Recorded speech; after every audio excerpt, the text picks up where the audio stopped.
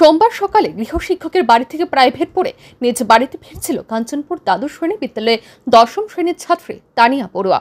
তার বাড়ি কাঞ্চনপুর বাজার সংলগ্ন এলাকায় গৃহশিক্ষকের বাড়ি থেকে কাঞ্চনপুর পোস্ট অফিস রোড ধরে বাড়ি ফিরছিল সে। বাণী লাইব্রেরির সামনে তার পথ আটকায় কার্তিক নাথ নামে এক যুবক। কিছু বুঝে ওঠার আগেই কার্তিক নাথ ধারালো ছুরি দিয়ে তানিয়া বড়ুয়ার দেহে একের পর এক আঘাত করতে থাকে। ছুরির আঘাতে একসময় রাস্তায় লুটিয়ে পড়ে তানিয়া। তানিয়া মাটিতে পড়ে যাওয়ার পর যুবকটি একই ছুরি দিয়ে নিজের দেহে একের পর এক আঘাত করতে থাকে।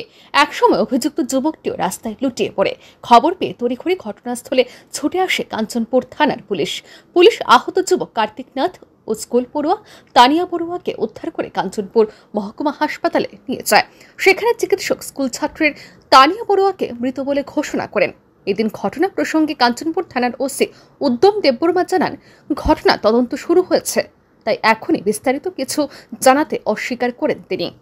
আগে কাঞ্চনপুর বাজারে রেঞ্জ অফিসের সামনে যত খবর পাওয়া গেছে একটা ছেলে এক মেয়েকে স্ট্যাপ করেছে এবং তারপর নিজেরও সুসাইড অ্যাটেম্প করেছে নিজের গলা কেটে।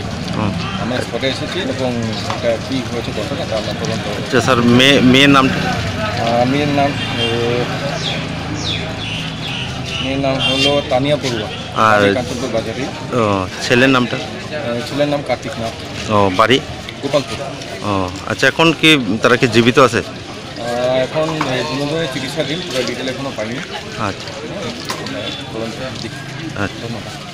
এদিকে আঘাত গুরুতর হওয়ায় অভিযুক্ত কার্তিক নাথকে কাঞ্চনপুর মহকুমা হাসপাতাল থেকে ধর্মনগর জেলা হাসপাতালে স্থানান্তরিত করা হয়েছে। এই হত্যাকাণ্ডের ঘটনাকে কেন্দ্র করে গোটা কাঞ্চনপুর জুড়ে জনমনে তীব্র চাঞ্চল্য ছড়িয়ে পড়ে।